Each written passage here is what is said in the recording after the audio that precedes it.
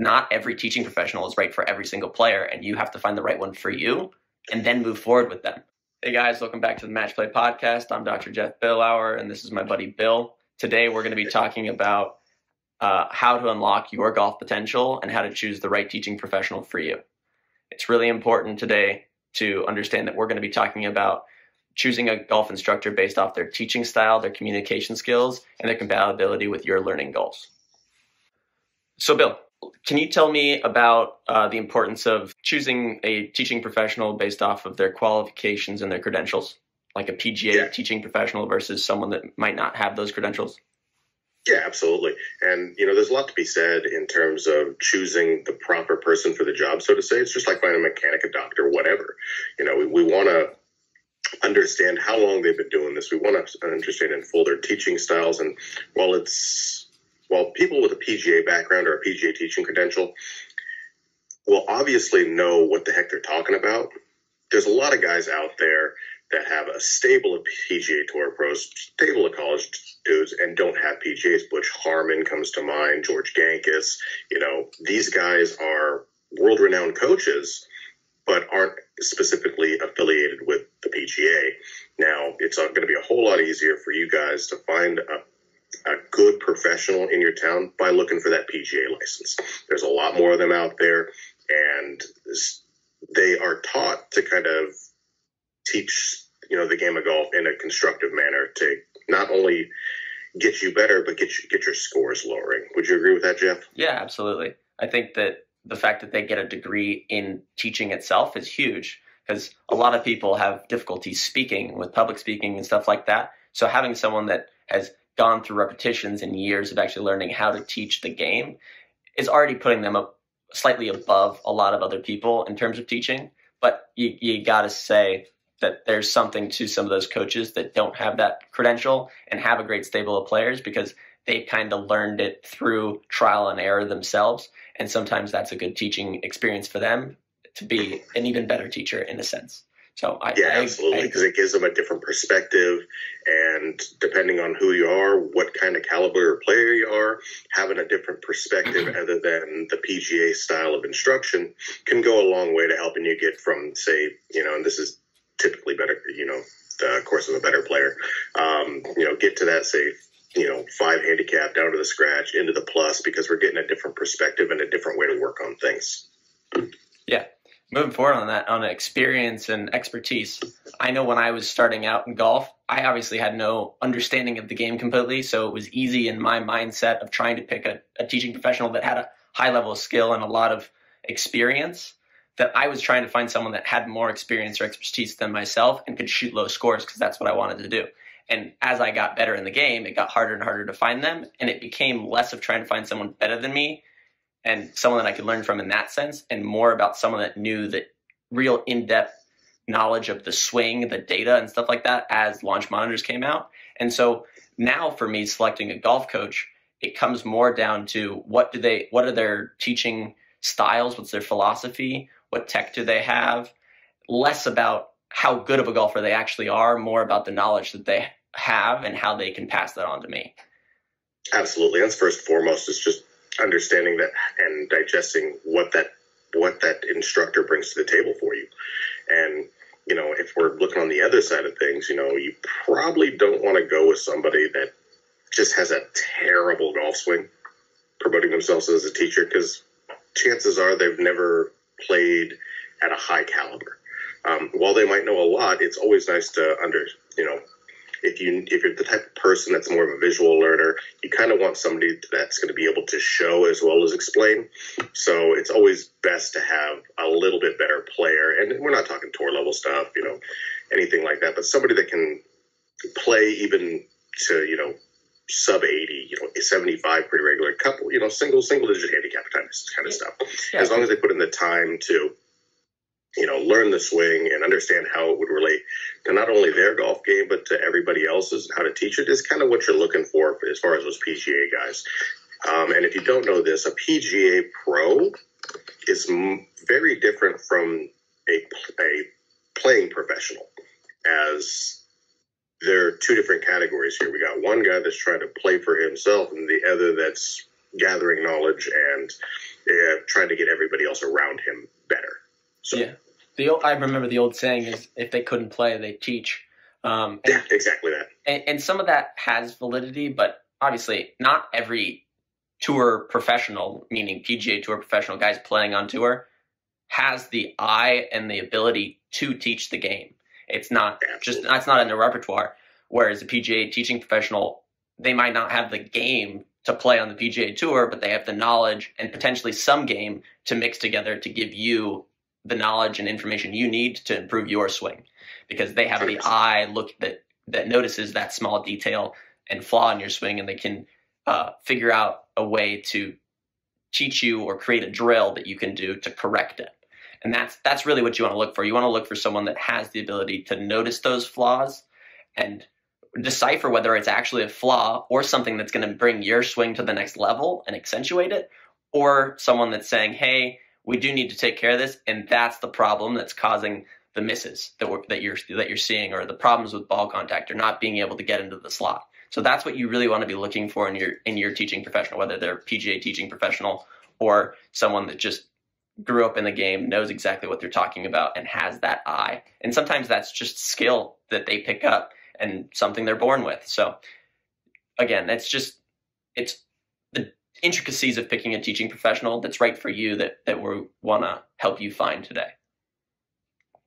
Um, yeah, and to and to Jeff's point there, you know, you know, just what he just said a, a second ago, finding somebody that can relate to you and getting to understand not only how they're telling you to swing this golf club or explaining the benefits and the in, inconsistencies that it might how it might relate to you you want to make sure that you understand every little point, and this goes back to my former statement, but you want to find uh, when we're talking about like PGA PGA teaching professionals, all those guys know what the heck they're talking about. Every single one of them, they went to school for it, they trained for it, they're good. That's why they have the title of PGA teaching professional.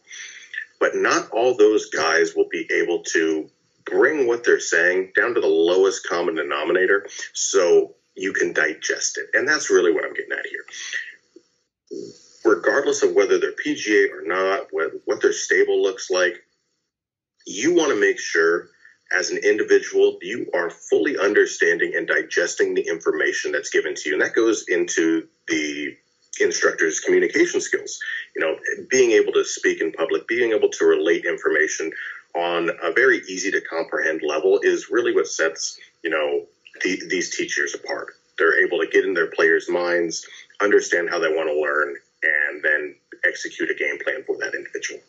Yeah, we're looking for, uh, like you said, someone that can explain concepts that might be a little uh, intense or a little bit complicated, being able to break them down and communicate it to you, as well as provide you constructive feedback and tailor the instruction to your individual needs.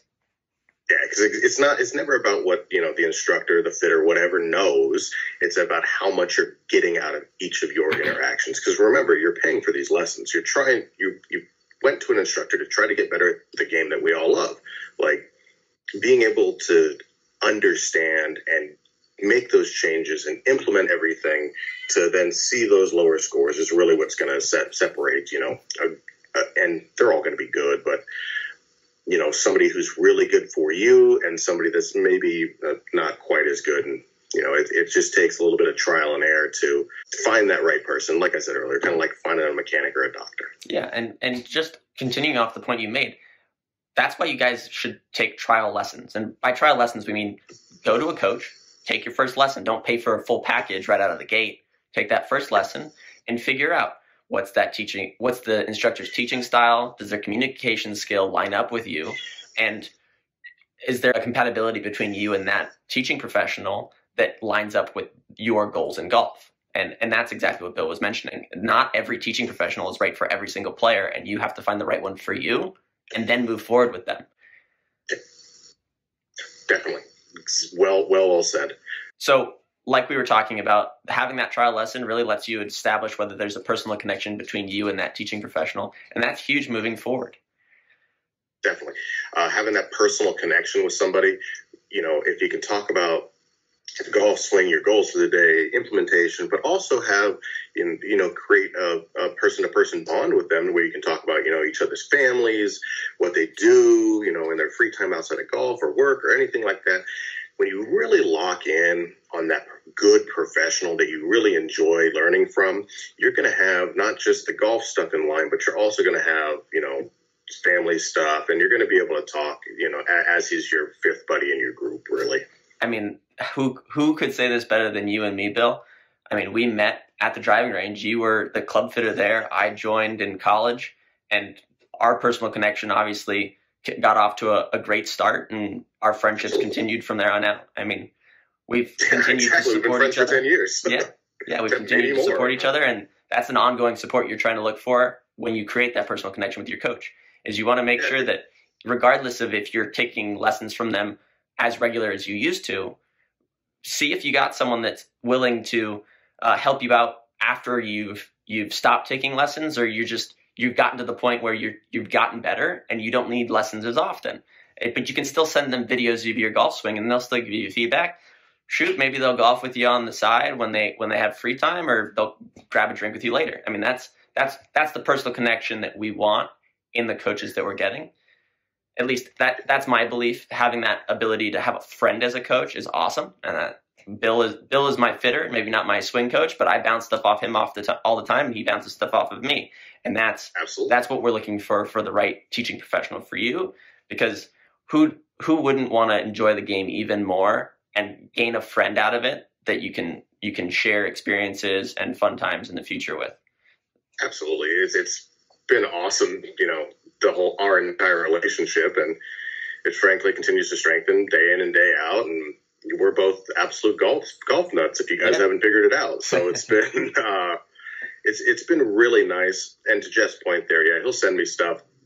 You know, regarding new wedges, putters, what he's going through, and Jeff's a better player. Let's not kid ourselves. Um, about like the intricacies and you know being able to express his thoughts to not only an equipment side, but a the game of golf side. Maybe he's got his head wrapped around something a little funny, needs somebody to just kind of bounce stuff off of. You know, that's the kind of person you want to look for in a professional. You know, somebody that's not just going to you know take your money and run, but is going to be there with you through the pro- through your progress in the game. That's really what we're all looking for. Um, and yeah, love you, Bill. Um, Love you too, dude. yeah, moving forward from that, I mean, if, if you're really struggling to find the right teaching professional for you, we talked about this before, looking at the players stable or the, the, the teachers stable. And when we say stable, we mean the players that have gone through this teaching professional's uh, platform. They, they, they have a style. They might be able to modify that style. And if you look at their feedback and reviews, and maybe you know someone that's taking lessons from them, ask them questions because it's going to help you to get a better understanding of how that teaching professional teaches and what their teaching philosophy is, which is really important because there's different styles of, of swings. I mean, the, the saying is swing your own swing, but there's also those fads that you hear on television or on tour where it's like, hey, he's a stack and tilt player. Well, that's a teaching philosophy. Or, hey, this guy does a frisbee throw. That's Collin Morikawa, for example. Or I want to swing it like Rory McIlroy. It's well, you should try and find someone that teaches a swing very similar to Rory McIlroy, and that is a hard swing to, to copy, by the way. A great one to copy, but a hard one to copy. He's a uh, unicorn in a sense. He's he's a fantastic player. That that one kind of comes with a little bit of inborn skill. But moving forward from that, that feedback re- in the reviews you're going to see is really going to help you to choose which coaches you do your trial lesson with. But that trial lesson is really important to helping you actually find the right coach for you. Absolutely. And as far as a trial lesson goes, guys, it's it's kind of like you know if you've ever been on a blind date, you've never met this person, you've seen heard some positive reviews from a couple of your buddies, things like that. You just got to go do it. Just go see what this person's about. You know, make a human connection, and if it works, great. If it's not, make another phone call. Like simple as that. Yeah. And, and, and another thing to think about if you're that better player or if, if tech and tools or gadgets are really your thing and that's what you're like hey i can buy it i can work on it i can work with it and it helps my swing, finding a teaching professional that uses those in their actual platform is is someone you should look for. Um, Absolutely, and somebody that understands what they're saying to a T, because there's a lot of people out there that are just getting, you know, monitors becoming more and more accessible to basically everybody. TrackMan isn't, you know, the only game on the block anymore. Um, while it's, in my personal opinion, it's still the best. You know, we have GC Quads, we got FlightScopes, we got Mevos, we got Encores, we got, you know, Garmin's. There's accessibility for a lot of people to just have a overwhelming amount of data. But that's not beneficial if the instructor can't utilize explain it. to you yeah. what the heck is going on in your ball flight, your swing, anything like that. You know, so it's kind of a double-edged sword in terms of that technology. You really got to have somebody that understands what they're looking at and how to process for you the changes to to make the swing more efficient, essentially. Yeah, and there's certifications for these things as well. I mean, there's certifications for understanding TrackMan data. There's certifications for understanding Swing Catalyst data. If you don't know what Swing Catalyst, it's a platform you stand on that helps us understand how you use ground forces and how that improves your swing and allows mm-hmm. more speed to be unlocked and stuff Absolutely. Like and and swing catalyst is something that came came around in the past couple of years and it's pressure plates that shows how the, yeah. the individual is shifting weights, whether or not it's efficient, whether or not it's sliding, swaying, even to the slightest amount that the naked eye wouldn't see. Swing catalyst is a, a, a really, really useful tool, but you really need to understand what the heck's going on in that yeah. system it's a lot of lines and charts, and if you don't understand it, it could lead you down a really bad rabbit hole. Yeah, very quickly. Yeah. Well, uh, I think we've talked a good bit about this topic today. Um, Bill, do you have anything else to add? Um, yeah, I would definitely like to throw in a little piece here. You know, about the cost and the value that they're getting from uh, lessons. So you'll you'll see a wide variety of you know let's just say half an hour lesson costs and series of six package costs how you know maybe there's little savings from going for a half an hour lesson to an hour lesson but generally speaking you need to find somebody that one is also going to you know give you that continued support that we talked about and two isn't just going to you know be there for gaining you know gaining money for himself you know he, somebody that's yeah, you might have to pay, you know, 100, 150 bucks probably on the top end for a half an hour lesson uh, with some of the greatest instructors in the world. But the value that you're going to get out of that money is well, well, well, well, well worth the cost. Yeah. So make sure that you really you know think about the lesson and, and what you out of value for the cost of the instructor. Um, if they have a massive stable for stable full of PGA Tour pros, yeah, they're probably going to be more expensive. That's pretty obvious to everybody. But it comes down to are you gaining the value out of that person? And that's kind of a bad way to say that, but are you getting value out of what that person is explaining to you or trying to teach you? That's end goal. Are you becoming a better player and having a better understanding of this game of golf from the person that is trying to help you. That is really the last thing I'd really want to talk about here is make sure you're getting your money's worth.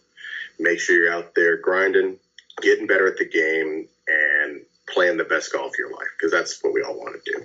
Uh, for this week, guys, uh, that'll wrap it up. And it's great talking to you guys on finding a PGA instructor and getting to the next level. And we'll see you next time. Yeah, see Peace. you guys. Have a good one.